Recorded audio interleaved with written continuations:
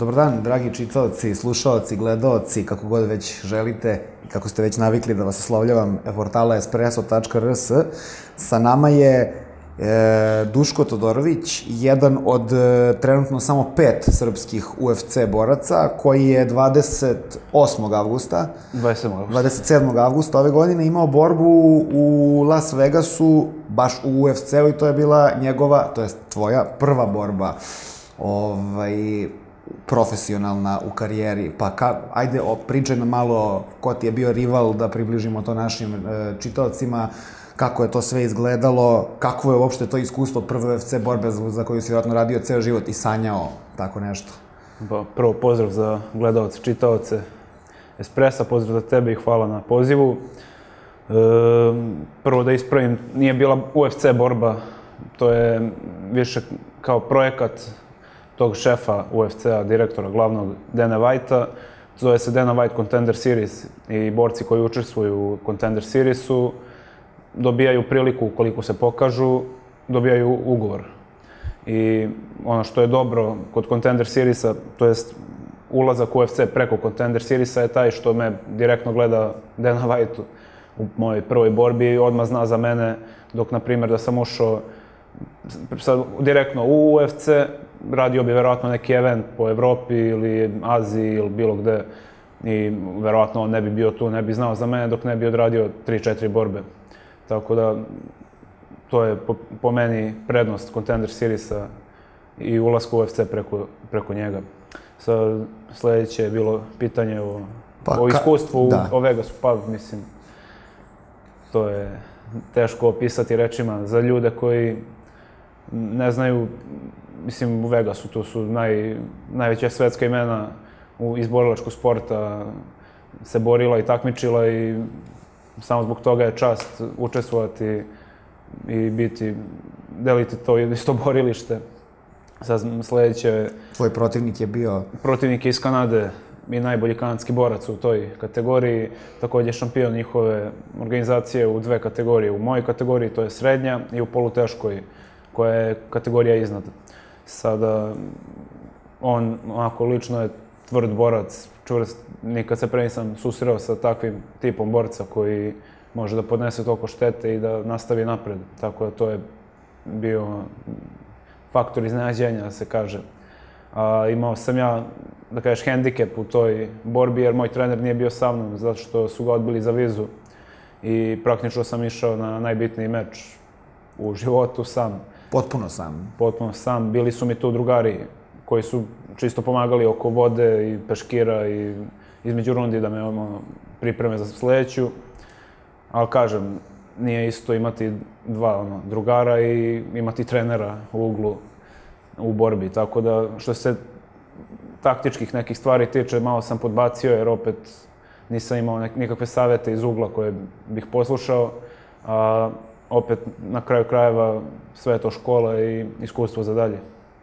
Uh, ti si taj meč dobio, nije bio klasičan nokaut, jel tako? Ne, bio je sudijska odluka. Da, da. Ovog puta sam po prvi put u karijeri otišao sve tri runde i video sam, pošto do sad sam sve završavao u prvoj i drugoj rundi, nisam nikad osetio rad u trećoj rundi i sad sam ono, naučio da mogu da idem u treću rundu, čak sam ja nabio tempo u trećoj rundi, tako da sam saznao da imam kondicije da se, od, iako se oduži borba, da mogu da ispratim tempo. Uh, kakav je osjećaj uopšte bio ući u taj oktagon i još pobediti i pred tolikim, pred tolikom publikom pa, tako važnoj, tako važnoj pa, manifestaciji? mislim, ono je, ljudi ne, ne mogu razumeju to sad, to jest ja ne mogu opišem koliko je sve tamo okrenuto ka borcu. Na, ni o čemu bukvalno ne moraš da razmišljaš. Ja sam tamo došao 7 dana pre, moje je bilo samo da, da im kažem kad hoću da idem na trening, kad hoću da jedem, kad hoću, znači sve mi je sređeno, sve mi je besplatno, sve me oni voze, znači stvarno maksimalan ugođaj što se tog dela tiče. E, kad smo na dan borbe isto prevoz sve tamo, imali smo neko testiranje, obavezno testiranje za doping i stvarno tad su mi prvi put bandažirali ruke profesionalci, ja sam do sada sam sebi bandažirao ruke, tako da je to samo po sebi novo iskustvo za mene i ono, baš je, baš je cool, ono, za ljude koji ne znaju. a ne, ne deluješ mi kao tremaroša, da li je bilo malo nekog... Nemam, ja ne uzbuđujem se toliko preterano i ne razmišljam sad toliko puno u borbi u, u tom nekom negativnom smislu. Ja, šta ako me udari, nokautira, završi ovo ono, ja i čim saznam za borbu, znači, na primjer, dva meseca pred meč, ja svaki dan razmišljam o borbi, ali u pozitivnom, znači, razmišljam kako ja pobeđujem, kako ja namet, nametnem svoj ritam borenja, kako završavam borbu i to svaki dan radim. I onda kad dođe dan borbe, ja sam već otprilike svaku situaciju izvrtao u glavi, tako da sam spreman. Ali od tog negativnog razmišljanja nema ništa. Ono. Na kraju kraja moraš o nečemu da misliš što bi razmišljao da ću da izgubim ako mogu da mislim da ću da pobedim. To je taj pobednički mentalitet u stvari. Pa. A e, rekao si, imao si priliku da te gleda Dana White, da li ste se upoznali, da li ste... Jesmo. Šta ti je rekao? E, to je bilo nakon borbe, kad je bilo... Od, otišli smo tamo na razgovor sa novinarima i on je tu prolazio u nekom hodniku i kad me vidio, ono, ja ono, usto pozdravio se, ali od euforije i svega ne sjećam se ni šta smo pričali. Ovaj, on je bio upućen u celu situaciju da nisam imao trenere i sve, normalno, zna sve o svima tamo, nije za džabe direktor najveće organi ono, borilačke organizacije na svetu, tako da, kažem, upoznali smo se Bruko, ali sve normalno, ne mogu sad šta smo pričali tačno, to je... Um, priča nam malo kako izgleda dan jednog srpskog UFC borca sada već. Pa, nije to sad nikakav specijalan režim. Ustajem, doručkujem, proštam psa ili malo na kompjuteru zablejim, odem na trening, vratim se, ručam, proštam psa, uveče trening, vratim se, proštam psa, to je otprilike taj neki sled događaja. Znači, pas je tu naj, najčešća da, aktivnost. Pas i trening su na prvom mestu. a ovaj, dobro, znači ljubav prema životinjama definitivno Normalno. nešto pozitivno, a što se tiče ishrane, kao što možeš da vidiš, dobro, publika trenutno to neće moći da vidi, ja imam, ovaj, ja volim da jedem, a... A, volim i ja. ali e, kako, kako, ovaj, kako se hraniš? Da li imaš neke posebne režime, mislim, pretpostavljam da imaš i, pretpostavljam da imaš i koji su to režimi, kako se hraniš sada, na primjer, kada samo treniraš, održavaš formu, kako se to onda kreće posle kada, kreće, kada je najavljena borba? Pa u principu uvek gledam da se hranim zdravo, znači da ne jedem pet dana nedeljno neke fast foodove, junk hranu, ono, smeće to, da se izrazim slobodno, ali volim ja da jedem, volim i slatko, onako dosta. I, ali gledam da se hranim zdravo stvarno i kada uđemo u period, pripremni period za borbu, ja tu ništa specijalno ne promenim, osim što redukujem ishranu. Jer sad zavisi od borca do borca kako ko skida kilažu. Obično ljudi skidaju, izbacuju vodu iz organizma posljednju nedelju, to je onako, da kažeš, malo ekstremno i nije ni zdravo toliko. Ja gledam da kroz taj pripremi period koji traje mesec i po dva, možda i duže, zavisi kad saznam za meč, gledam da redukujem ishranu i da uđem u taj kalorijski deficit, da trošim više kalorija nego što unosim i samim tim telesna kilaža pada i to nije nikakvo opterećenje za telo, jer nije ništa naglo. A ti kad za 7 dana izgubiš 10 kila, to je već veliki problem, to jest može da bude. Tako da, ništa sad specijalno oko hrane, niti režima ishrane. Kažem, jedem normalno koji svi drugi što jedu, samo što eto, na trenizima se trošim više nego ostali, pa se ne primećuje toliko. Upravo zbog toga mi je bilo interesantno, pošto ovo pitanje, pošto pretpostavljam da su treninzi naporniji nego možda i u bilo kom drugom profesionalnom sportu. Pa, da li ti posle treninga pred spavanje uveče smeš da, da se hraniš ili pa, kako sme, to? Smem, znači, nekad sam gladniji, nekad manje gladan, ali u principu jedem 3-4 puta dnevno sa užinama možda 5-6, ali kažem, ništa sad tu specijalno nema. Nema nekih zabrana da šta ne da, smeš da jedeš. Ne, ma, sad to je više nešto moje lično lupa.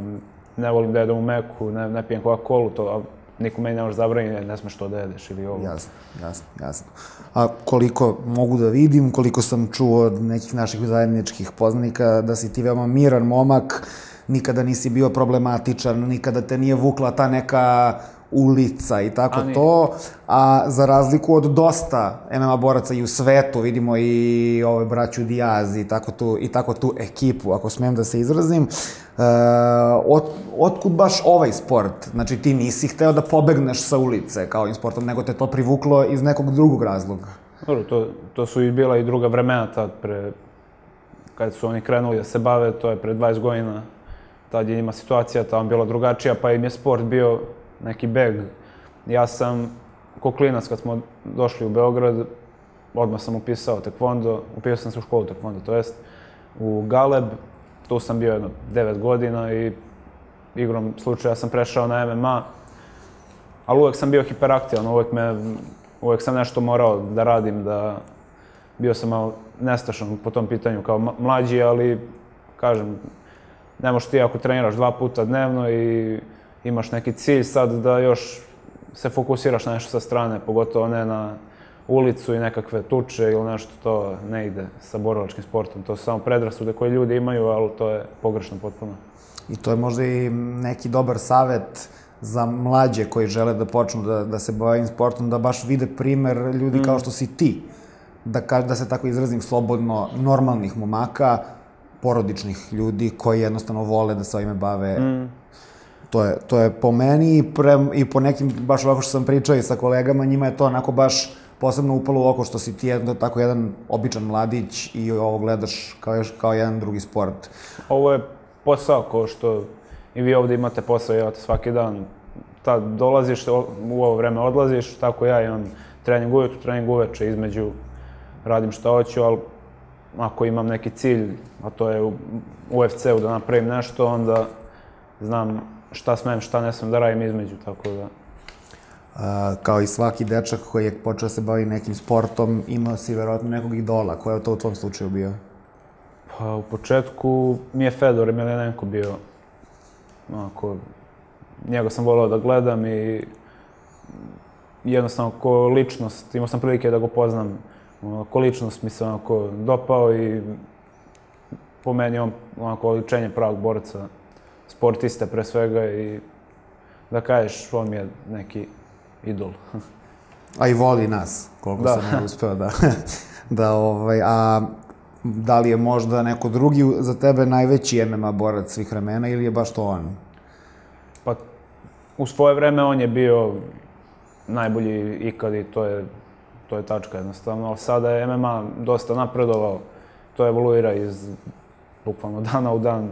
Ljudi su sada dobri u svakom aspektu borenja, tako da trenutno je po meni John Jones, što se sporta tiče, ono, vrh vrhova. Sad ovako sa strane je on malo, onako, da kažeš, problematičan, ali to je njegov život. Ja gledam ovako, kao MMA borac, on je trenutno najbolji, tu nema priče.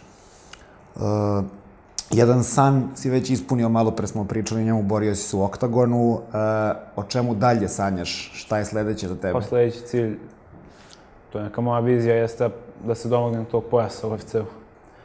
Pre jedno pet godina sam imao neki intervju, isto pi- pitali su u fazonu kao šta je sledeće, rekao sam SBC pojas, to sam osvojio, onda je bilo gde se vidiš za pet godina, rekao sam u UFC-u, sada sledeće taj pojas da probam da se domognem i da, da ga osvojim, pa dalje vidjet ćemo. To ti želi, Borba po borba. to ti želi i cela redakcija Espresso. Hvala puno. A pošto već smo pomenuli, ti si jedan od samo pet naših UFC boraca. Pored tebe to su Aleksandar Rakić, Aleksa Ćamur, e, Darko Stošić i Stefan Sekulić, koji se trenutno iz nekih razloga ne bori. Kakvo, šta misliš, kakav si sa njima, kakvo imaš mišljenje o njemu kao, o njima kao borcima, o ljudima? Pa, da krenemo prvo Rakića, pošto on je trenutno naj, najuspešniji, mogu slobodno da kažem. On sad sko- uskoro ima borbu protiv bivšeg izazivača za titulu Volkan Ozdemir i on je realno potencijal, malo pre sam spomenuo i John Jonesa, ovaj, on je po meni potencijal da skine Jonesa sa tog trona, jer čovjek je neporažen već, mislim, celu karijeru malo te. Tako da, po meni on, on pravi sportista, ne priča puno, radi, trenira. Ovaj, sledeći je Stefan. Stefan je isto On je momak iz Novog Sada. On je inače jedini, uz mene, jedini borac koji se iz Srbije, znači živi u Srbiji, trenira u Srbiji i bori se u UFC-u. Tako da to je, to je isto jedan veliki, veliki plus.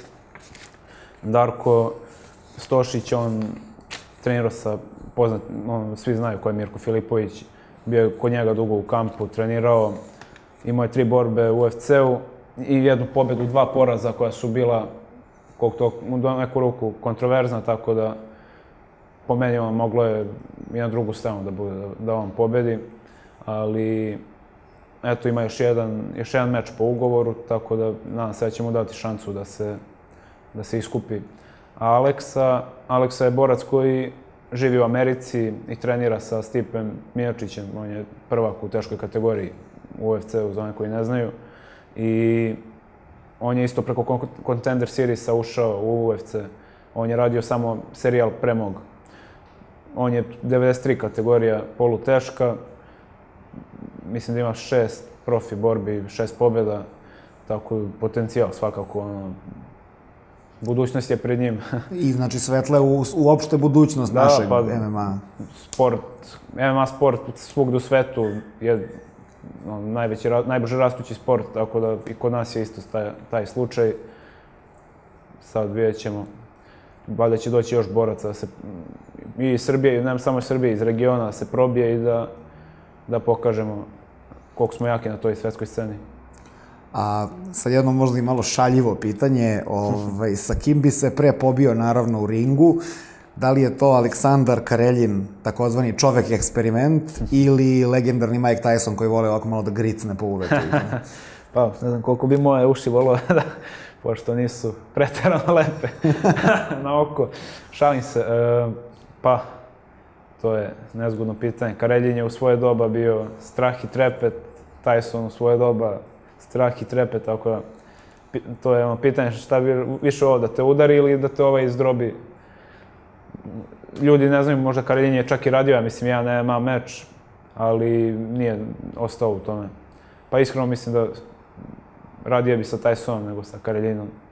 A taj čovjek je planina. znači manje se plašiš uh, udarca nego drobljenja. Da, to. Udarac sam vidio da mogu da podnesem iz prethodne borbe, Lovo drobljenje je pitanje.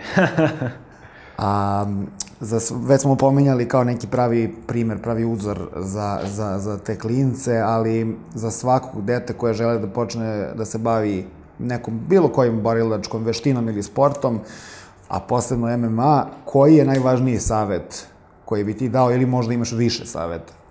Pa u principu samo da od početka znaju ono što žele. Ako se odlučiš da budeš borac, to znači da moraš da se odrekneš nekih stvari, sad da li je to lično za tebe odricanje, lupam, izlasci, pijančenje, zajebancija s drugovima do kasno i to. Ja sam, ja sam nećem kad sam došao posljednji put, ono da se provedemo, da ostane celu noć i to, ali nemam ni potrebu, ni želju, iskreno, ni energije za to posle treninga. Tako da najvažnije je da klinac zna šta želi od početka, malo te, jer ja sam odmah u početku znao šta hoću, dokle hoću, samo to ne govoriš naglas. Ali, kažem, mora da budu predani tome i da budu vredni, nema što preko noći, to je, ko misli da može preko noći da nešto napravi, to je zabluda velika. Znači, mora, ra radne navike Pa, su... mora, možda čak više u neku, nekom, da kažeš, kancelarijskom poslu, moraš da budeš predan skroz, nema, nema dana odmora, što se kaže. I za kraj, e, kada će sledeća borba e, otprilike, pošto znam da još uvek ništa nije zakazano, ali da li znaš neki, neke okvirne? Za sad su samo bili da testiraju. Ovoga, antidoping agencija je bila, ali što se borbe tiče još uvek se ne, ne zna ništa. Ja računam, pošto, pošto sam čuo da kad stigne ugovor do, imaš dva meseca još do, do borbe, ja računam da će biti možda neki januar, možda čak februar. To bi mi odgovaralo iskreno, da, do tada imam vremena da se, da se spremim. Tako da, eto, nek bude neki januar, sredina januara, početak februara. To bi bilo onako savršeno. Pa, idealno. Želimo ti svu sreću, hvala što si bio naš hvala gost. Puno. Ostaćemo u kontaktu. Sve najbolje.